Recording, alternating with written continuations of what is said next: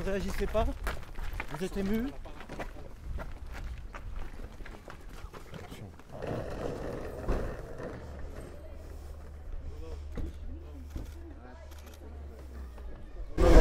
Dégage.